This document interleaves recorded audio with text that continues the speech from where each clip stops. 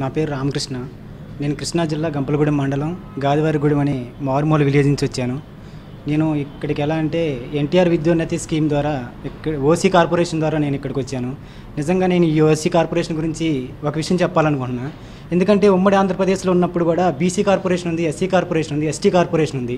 కానీ నిజంగా ఉమ్మడి ఆంధ్రప్రదేశ్లో ఎంతోమంది ముఖ్యమంత్రులు చేశారు కానీ మొట్టమొదటిసారిగా ఒక ఓసీ కార్పొరేషన్ అని పెట్టి చంద్రబాబు నాయుడు గారు నిజంగా మాకు మాలాంటి పేద విద్యార్థులకు ఒక మంచి పథకం తీసుకొచ్చారు. నేను ముందుగా ఆయనకి మంచి పథకమే కాదు ఒక మంచి టాప్ ఇన్స్టిట్యూట్లు నిజంగా లక్ష్మీ ఇన్స్టిట్యూట్ కానీ ఆర్సీ రెడ్డి కానీ ఎన్లాక్ కానీ ఇలాంటి ఇన్స్టిట్యూట్లో చేరాలంటే మినిమం ఒక్కొక్క స్టూడెంట్కి డెబ్బై వేల నుంచి ఎనభై వేలు వసూలు చేస్తారు.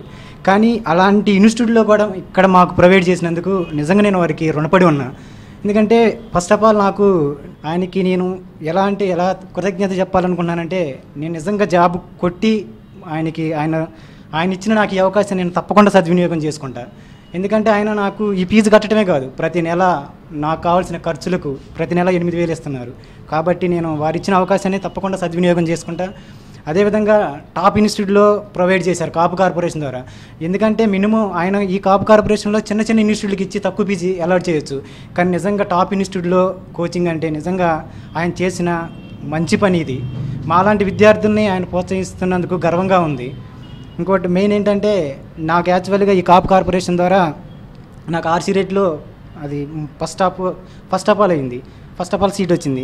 కానీ నేను అక్కడ నుంచి ఇక్కడికి ఎందుకు చేంజ్ అంటే ఒక రెండు రోజులు నేను ఇక్కడ లక్ష్మీ ఇన్స్టిట్యూట్లో క్లాసులు విన్నా.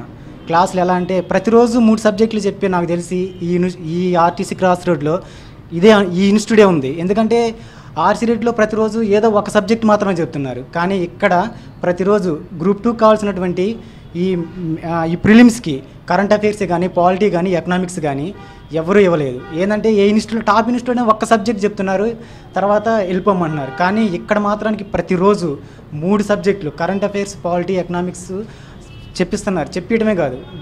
ఫ్యాకల్టీ కూడా బాగుంది.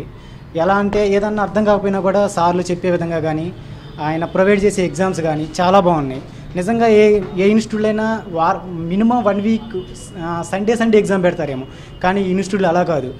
డే బై డే ఎగ్జామ్ ఉంది. దీనివల్ల ఏంటంటే నిజంగా నేను ఫస్ట్లో ఆగస్టు సారీ జనవరి ఐదో తారీఖు నేను ఇక్కడికి వచ్చినప్పుడు నేను నిజంగా వెనకబడి ఉన్నా.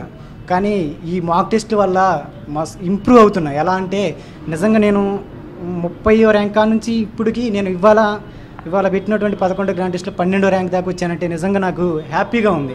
నేను సాధించగలను ఒక నమ్మకం ఒక థాట్ ఇచ్చారు. ఎందుకంటే ఈ మాక్ టెస్ట్ వల్ల మెయిన్ ఇలాంటి టెస్టులు పెట్టినందుకు నేను లక్ష్మీసారి గారికి రుణపడి ఉంటున్నా.